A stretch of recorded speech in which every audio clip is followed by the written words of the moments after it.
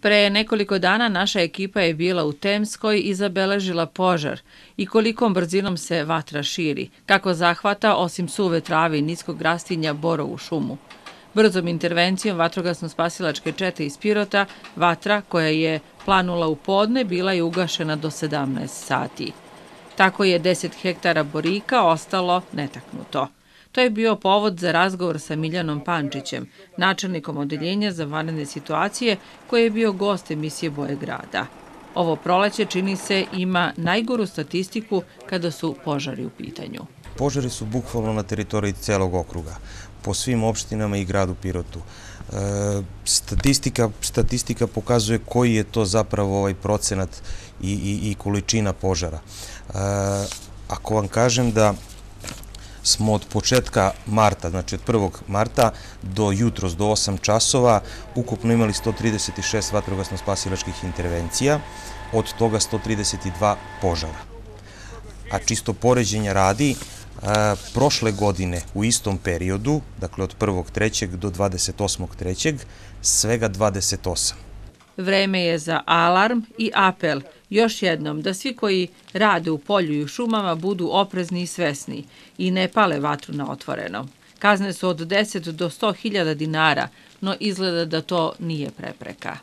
Najbitnija stvar je da, da se probudi svest u građanima i da, da eto, još jednom izvršimo apel na, na sve naše građane da bukvalno ne pale vatru na otvorenom prostoru. Mi čak imamo, moram da podsjetim sve, e, član 50 zakona o zaštiti od požara koji predviđa ovaj, bukvalno zabranu paljenja vatre na otvorenom prostoru i normalno shodno tome e, moramo ovaj, e, i sankcionisati takve, takve ljude. Nisu samo požari bili razlog intervencije.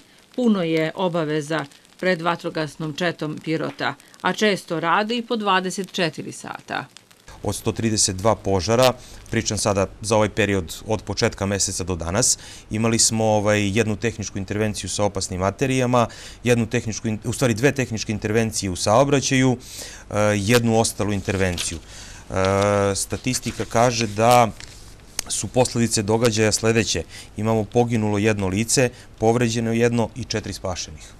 U protekloj nedelji požar je zabeležen u Temskoj, Dobrom dolu, gde je trajao tri dana, Cerovi, Crnom vrhu, četvrtom kilometru.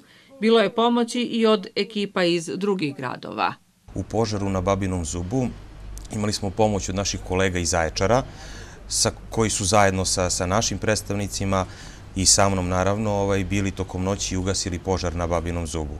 U drugi, e, drugi put je pomoć došla iz Niša kada je reč o požaru u selu Dobri Do.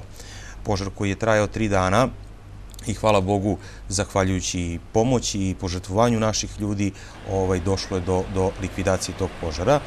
Najveće pomoć se očekuje od meštana sela i zaposlenih u šumskom gazinstvu, koji kontrolišu polja, šume i pašnjake da ne dođe do požara.